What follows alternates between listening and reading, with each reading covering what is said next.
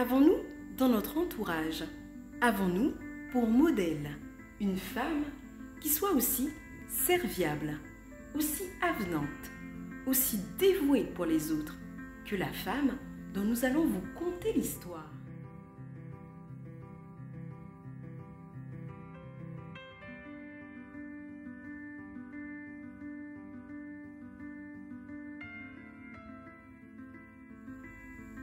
Servante et disciple du Seigneur, cette femme accomplissait les bonnes œuvres que Dieu avait d'avance préparées pour elle.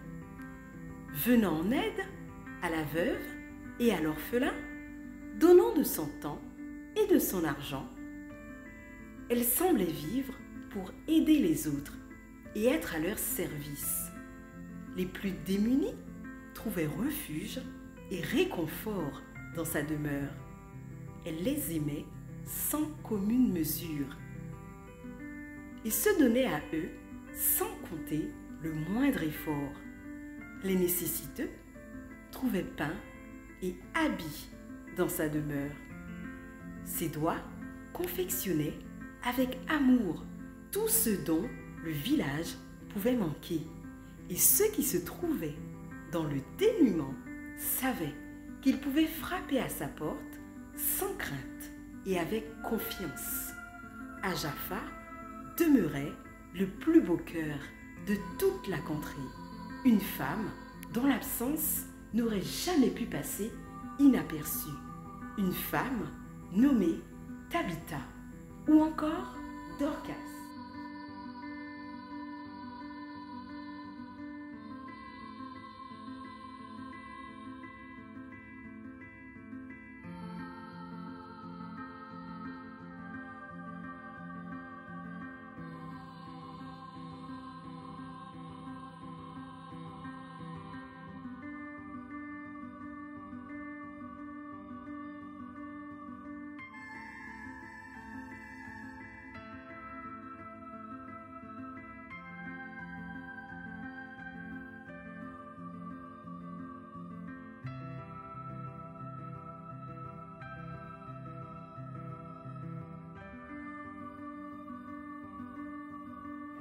Un jour, alors que personne ne s'y attendait, un mal inconnu frappa Tabitha.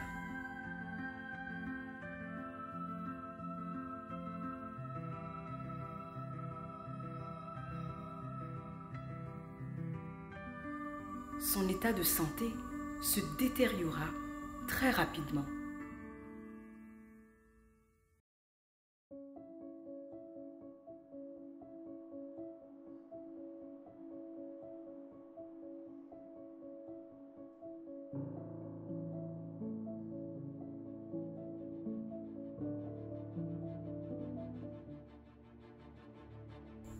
La tension était palpable. Tout le monde était aux aguets.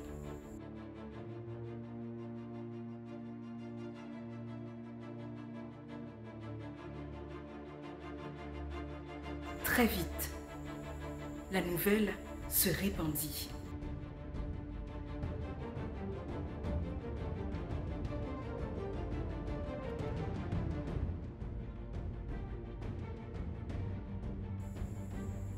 Malgré les prières des habitants de Jaffa, Tabitha finit par rendre l'âme.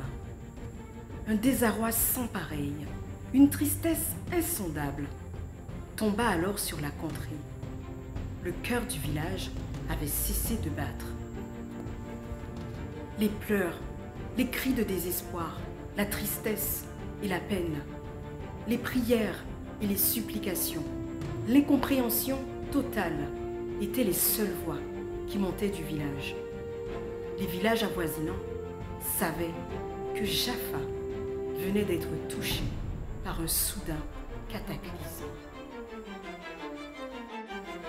C'est alors, dans les larmes et dans la peine, que le corps de Dorcas fut soigneusement lavé, parfumé et longé dans sa chambre. Comme elle avait tant pris soin des autres, le cœur lourd, c'était désormais son tour. Or, les disciples de Jésus se trouvaient eux aussi à Jaffa. Eux aussi ressentirent la perte de Tabitha, si vivement qu'ils envoyèrent deux hommes chercher Pierre, lequel se trouvait à quelques kilomètres du village, à Lydda. Il se hâta de les rejoindre. Les disciples connaissaient la libéralité et l'amour de Tabitha. Ils n'étaient pas insensibles à la détresse subite dans laquelle le village venait de sombrer. Lorsque Pierre arriva à Jaffa, il fut assailli par des femmes, des veuves, qui lui montrèrent les habits que Dorcas avait confectionnés pour elle et les leurs.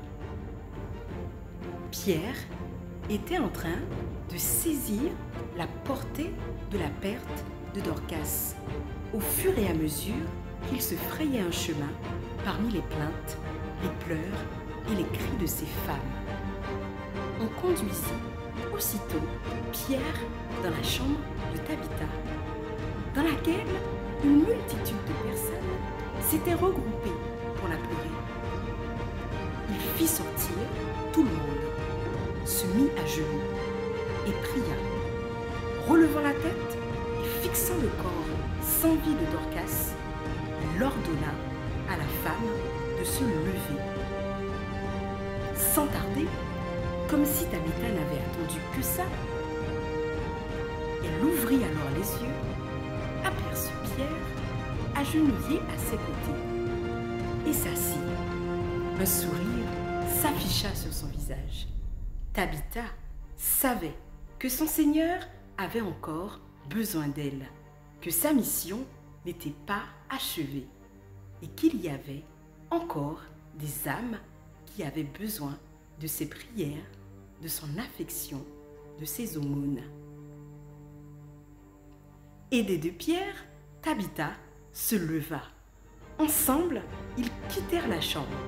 Pierre rappela alors toutes celles et ceux qu'il avait fait sortir et leur présenta Dorcas, vivante.